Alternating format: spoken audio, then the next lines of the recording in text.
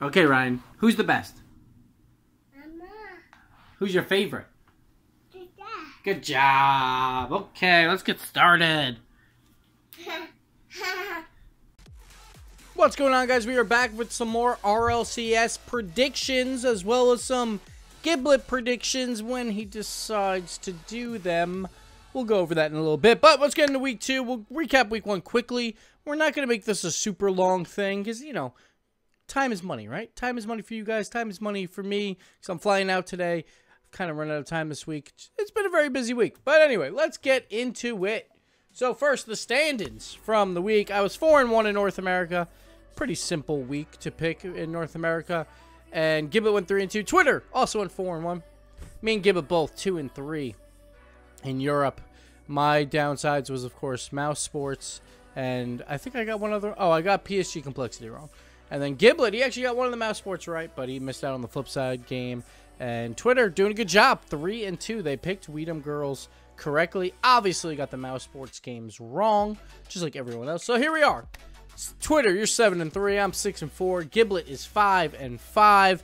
Maybe it is better to just pick the odds-on favorite every single time. Looks like it's working for Twitter. Uh, let's get into it though. Let's go into next week. Uh, for this week, at least week one, we'll do a quick recap. Really cool to watch. Mousesports showing up. Allegiance, big win over FlyQuest. I still think FlyQuest is the better team there, but Allegiance, that's a huge win for them to have a shot to move into playoff territory, into world championship territory. So huge ups for Allegiance. They kind of fell short later, and obviously the big three in NA is still the big three right now. It, it's looking like uh, this week should be interesting, and we'll get into that in a bit for the big three purposes. Uh, Europe side, we knew games were going to be close. I felt like some of them were a little too defensive, maybe slightly boring to an extent, but teams are going to play safe. It makes sense. Uh, it reminds you of like New Jersey Devil uh, hockey, basically, um, where everything's really defensive and you just wait for that one moment. We'll see if the offense kind of peaks a little bit more as the season goes on. I assume Europe will get a little bit more offensive heavy uh, by the end of it, but it was uh, there was two series in particular. It was the PSG complexity and then the um, what was the other one? There's one other one that was very defensive. I'm losing track of my mind, but we're gonna continue on. We're just gonna go into it. So going into North America, let's get into it. I've done it a little differently. I put them in match order so it's less confusing, and then I just wrote down their hype. One is the most, like one is like the most hype, five is the least hype, and this is how we're gonna go through the rest of the season. So, Cloud9 versus Ghost Gaming. I put this one as a four because Ghost Gaming didn't really look that good. Uh, speaking of boring series, that series was relatively boring. Ghost Gaming versus EG. Um, besides Chicago being that like limelight, no one else on either team really showed up all that much. So Cloud9 versus Ghost. Uh, this is a good test for Cloud9 this week. They have a doubleheader this week. They play both Ghost and EG. So they will play all three of the new rosters in NA in the first two weeks. Like, if they come out 3 and 0, they're basically guaranteed top three. At least. And then, obviously, if you finish top two, you're going to the World Championship.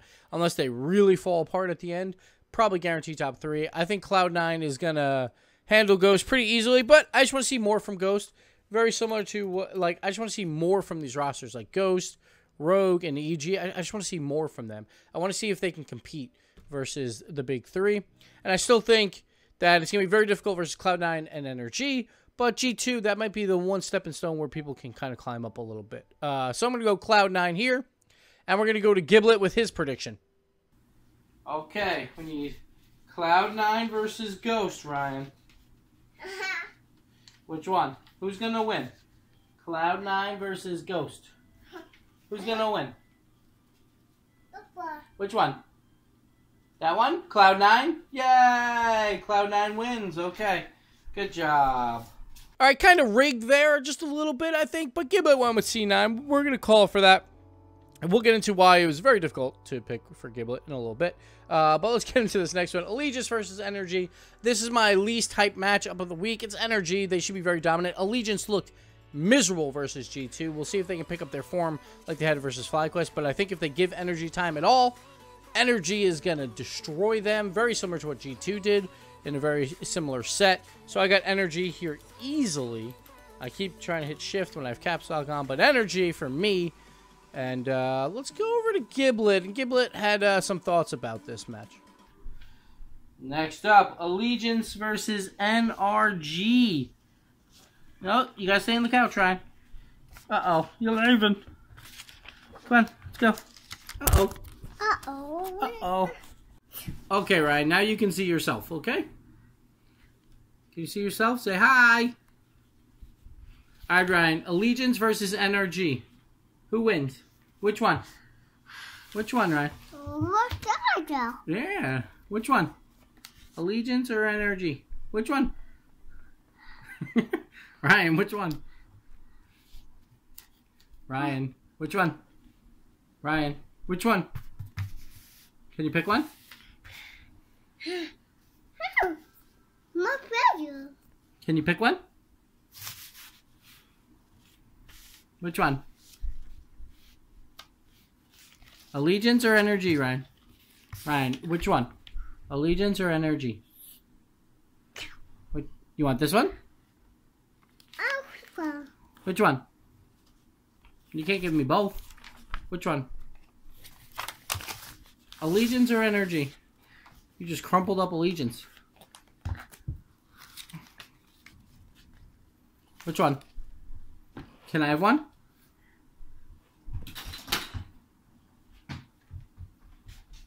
Well, I don't think either one's winning today. So, Giblet wasn't a fan of either of these teams, and um, yeah, he was not a fan of predictions at all this week. We'll get into that one more time before, uh, yeah, we'll, we'll we'll talk about it in a bit. But uh, Giblet, no pick for him. So uh, I got NRG. Giblet has none. And again, Twitter polls will be done. I guess I'm going to record this video. Right after this video, I'll put up the Twitter thread with all the different polls for all the matches. And then I will link it in the description below. But let's move on. FlyQuest versus G2. This is a pretty hype matchup in my mind. Because I think FlyQuest, they look decent versus NRG. That is the FlyQuest I expect to see versus the top teams. Where, like, they have a shot. They definitely have a shot to contend versus the top teams. I don't think they're going to win a majority of them, but they could win one of them. And I think it's going to be this one. I think FlyQuest is going to take this. G2 had it easy on Easy Street last week versus Allegiance. Of course, Allegiance beat FlyQuest, but it's a different matchup. It's a different style. Maybe FlyQuest comes out in surprise. Maybe I'm only picking FlyQuest because G2 needs the win. Who knows? Who knows? But why not? I'm going to have a little fun here. I'm going to go FlyQuest on this pick. If FlyQuest plays like they did against NRG, they have a chance. G2 hasn't been tested at all yet. Uh, Rizzo didn't have to do anything in the last game. He's going to have to do more in this game, obviously, but that's not a fault to him. It was just Allegiance was kind of easy. We'll see how G2 plays. I think this is the first time we'll see the real G2. And uh, I'm going to go FlyQuest. I think this is their one upset throughout this. I think FlyQuest will take it, and they need it. They're 0-2. We'll see if they can bounce back, but I got FlyQuest here. Let's go over to Giblet. And uh, we'll see what he thinks of this matchup. Maybe one more time. Maybe he'll get one in this time. I don't know. Ryan, can I have one? FlyQuest or G2? Hey. No, don't throw them. Can Daddy have one? Hey. Uh-oh. Gun. Can I have one?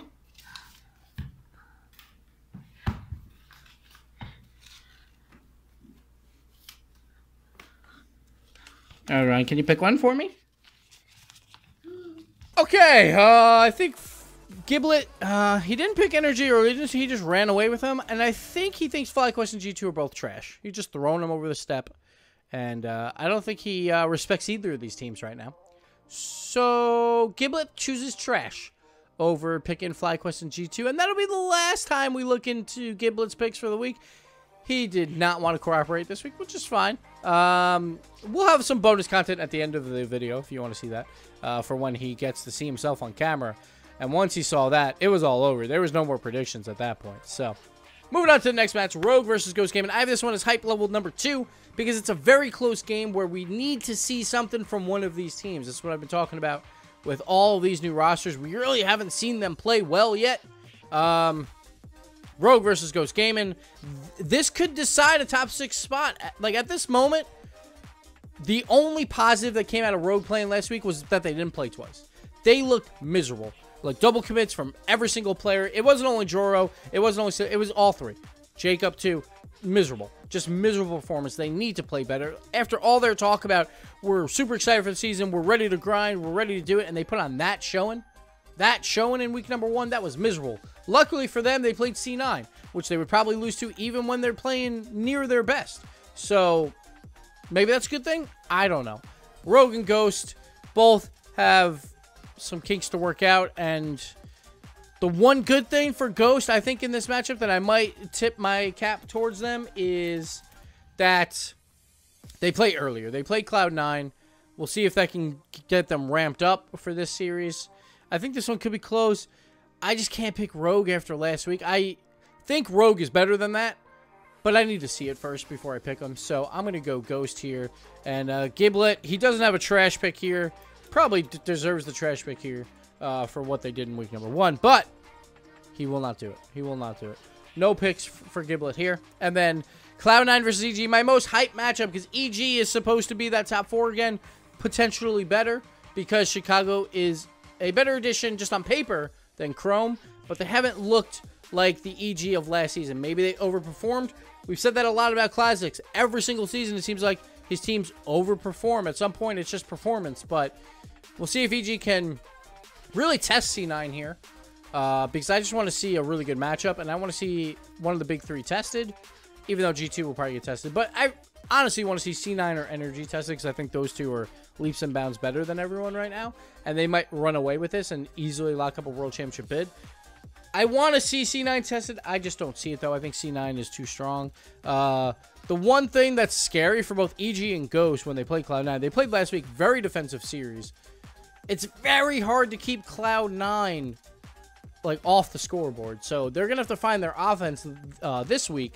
Chicago was the only like really good offense I felt like for EG.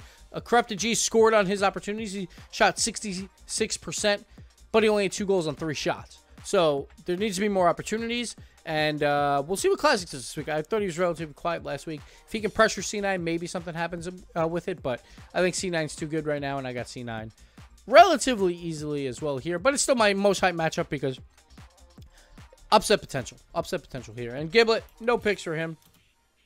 Again, we'll bonus content later. Again, for Twitter, polls will be in the description below. Let's move over to Europe. So here we go. Europe, every game is always like really exciting because they're it could go either way. I feel like NA right now, lately, it's been like the big three are just dominant, and we'll see with the FlyQuest pick.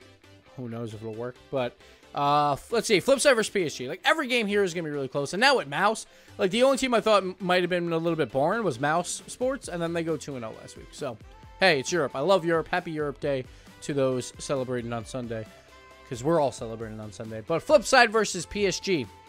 Both teams come in with a loss. Both teams very slow defensive series for the most part. Someone's got to step up.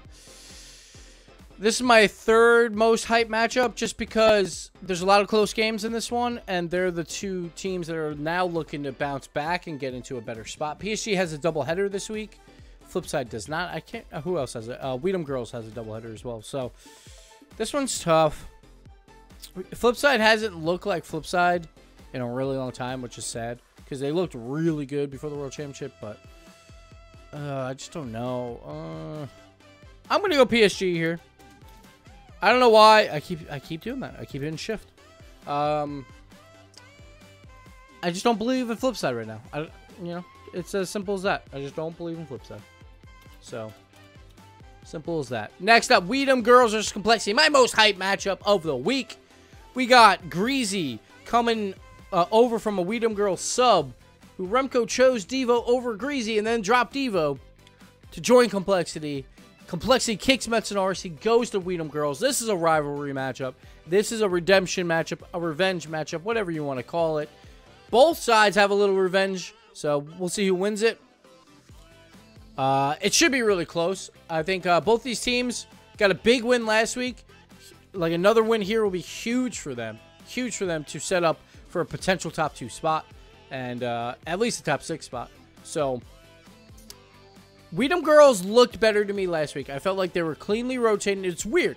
Super weird because Complexity, they kick Mets because they want to do more of like a triple rotation, more of an offensive approach. And then all they did was play defense in their series versus PSG. That's literally all it was. Um, We Dem Girlz, on the other hand, I thought they were picking up Mets to like let them play in the backfield, let Remco and Ignite kind of uh, dictate the offense. Maybe a little bit more of the old complexity style, maybe a little bit, but complete opposite. They were like rotating a lot more, moving up in the offensive end. Uh, and Metsanauris putting up some numbers as well, offensive numbers, which is pretty cool to see. I think I'm, I'm going to ride with We Dem Girlz here. I'm going to ride with the spin topper, uh, or propeller topper, I guess you'd call it. I got Mets here. Mets has been looking good, and if their offense keeps up, We Dem Girlz, I think uh, Complexity will have to find a different alternative. I think it's going to be very difficult to score on Complexity, but it's not easy to score on We Dem Girlz either. I don't know. I think Metsanauris looked good last week. I think We Dem Girlz is feeling it. Like, I Ignite maybe two weeks ago was like, oh, God, I can't, I can't play this game anymore. I'm so uh, demotivated. Everyone's passing me in skill. And then two days later, he's like, oh, I'm ready. I'm hyped. And that seems to be every single pro at this point where they're just like, there's down periods and up periods. I think right now is an up period for women girls. Let's see how long they can ride it out. Again, Giblet, no picks. We'll just fill in all of these while we have here.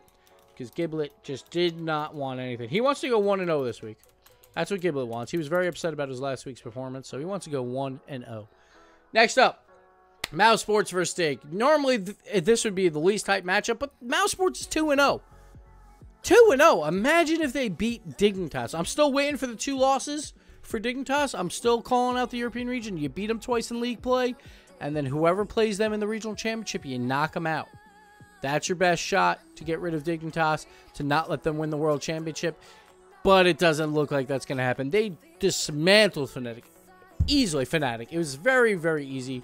Turbo, great assists, and also just like the simple plays where it's like, hey, I'm going to tap it around the corner a little bit, and then I'm just going to go for a demo, and when they try and clear from the corner, I have Kate and Panda doing a pass and play to a shot, and it seems to work like every time for them. So we'll see if Mousesports can figure that out and like get better clears. I feel like they were a little shaky on their defense at times, but they, like at the end of the day, made the saves that, that they needed to make. I think it was also a little bit Fnatic and Vitality playing down just a bit. Their shots were relatively weak across the board. So we don't expect that from Dignitas. I think Dig wins this easily. But what if Mousesports wins? Or what if they even take two games? Every single game matters for them now because they have two wins. They're likely at least tied for sixth spot here. And every single win matters for game differential for tiebreakers. And obviously, like they can still win more games, but if you take a game or two off Dignitas, a lot of like a lot of teams probably won't even do that. So you'll get a huge advantage on whoever you're tied with if you get tied in the sixth spot. So Mousesports is looking for one, possibly two games. Obviously, like if they get the win, they're looking fantastic. They basically clinch a playoff berth and they clinch the next season of RLCS, and that they're looking great for top two spots. So uh, Mousesports, lots to play for, but it's still Dignitas, and they're still the Kings. And uh, not, I'm not going to bet against them until they lose at this point. Fnatic versus Vitality. This is my least hyped matchup of the week. Two teams coming in that are just not feeling it right now. Fnatic looks like last season's Fnatic, not really doing anything. Mummy hasn't really done anything. Maestro's been very down as well. Like, literally nothing going right for Fnatic right now. Their shot quality is abysmal, and just like, it looks bad. I think Fnatic can bounce back. At the same time, Vitality Fairy Peak, what happened? Like, this is, I think, only the third time he's been held scoreless in a series.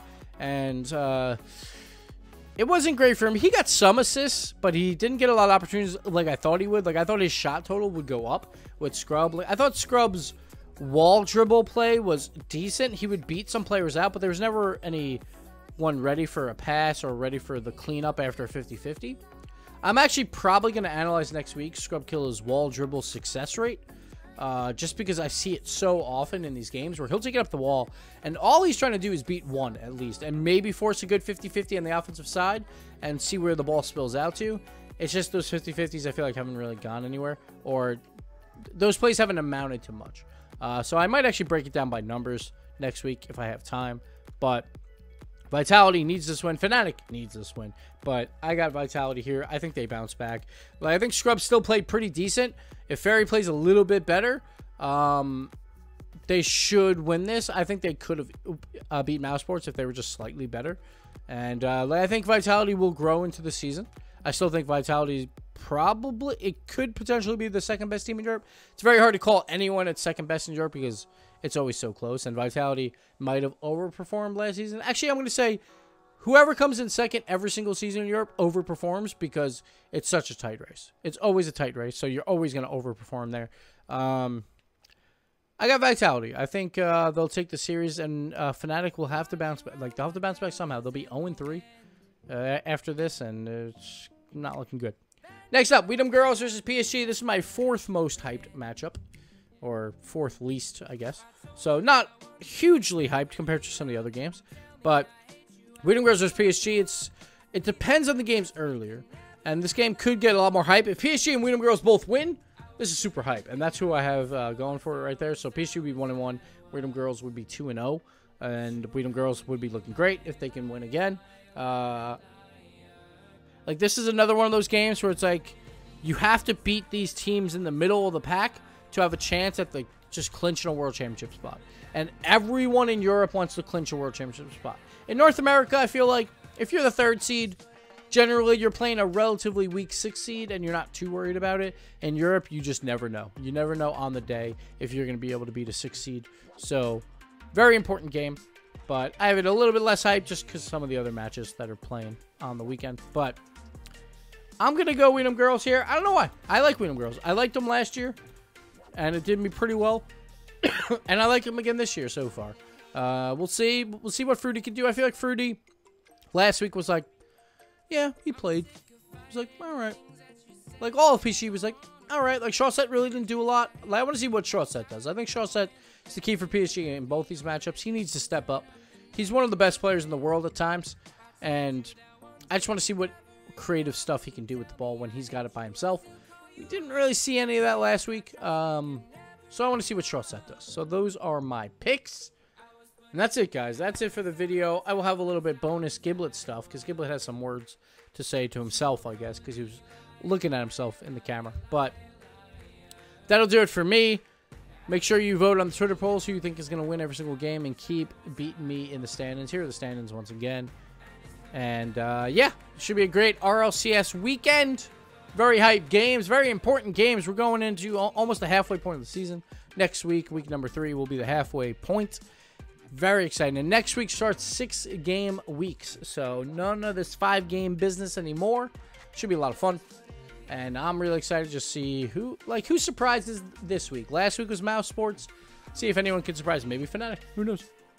Maybe FlyQuest. Who knows? Who knows? So that'll do it for me. Thank you guys for watching, and we'll see you next time. Ryan. Who wins? Who wins? Who wins, NRG or Allegiance? Which one? Yeah. Who wins, Ryan? Ryan, which one? NRG or Allegiance? See on the camera? Which one? Who wins?